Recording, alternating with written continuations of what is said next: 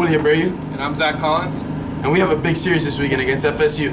We need the support from the best fans in the country. See you at the light. Go Canes.